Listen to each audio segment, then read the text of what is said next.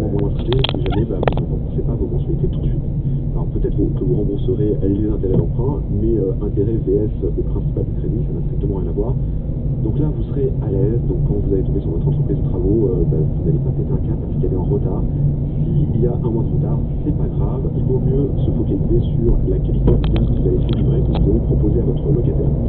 La même chose pour l'ameublement.